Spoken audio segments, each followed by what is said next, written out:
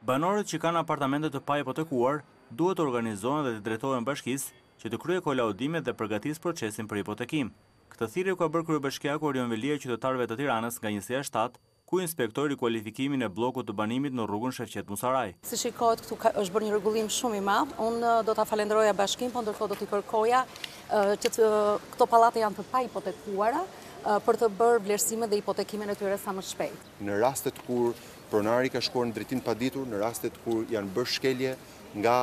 firma ndërtuese, atëherë është detyra e bashkisë, mjafton një kërkesë e banorëve dhe administratorit të pallatit që ne të vim, të bëjmë ne vlerësimin, të bëjmë ne koalidimin dhe pastaj të japim të gjithë dokumentacionin që këto shtëpi të hipotekohen. Prandaj ftoj gjithë qytetarët që të fillojnë dhe të organizohen, të përfitojnë nga ky vendim i Këshillit Bashkiak e nga kjo amnisti për të marrë hipotekat e pallateve. Hipotekimi i pallateve nga bashkia po bëhet në një situatë emergjente, ku mijëra prona janë bllokuar dhe nuk mund të përdoren si kolateral, pse jo për të rritur dhe ekonominë e qytetit. Ndaj Veliaj theksoi se me planin e ri urbanistik, çdo ndërtues do të rikualifikojë çdo bllok ndërtimi ku ka aktivitetin e tij dhe pastaj do hipotekohet. Në qoftë se sot, në kushtet e emergjencës është bashkia ajo që po rehabiliton këto territore mes pallateve, për të gjitha lejet nga tani e tutje, me planin e ri urbanistik, do të jetë detyra e zhvilluesve, siç kërkojnë leje ndërtimi dhe siç fitojnë miliona, ashtu duhet të paguajnë dhe taksën, po ashtu duhet të rregullojnë dhe hapësirat që preken nga zhvillimi i tyre.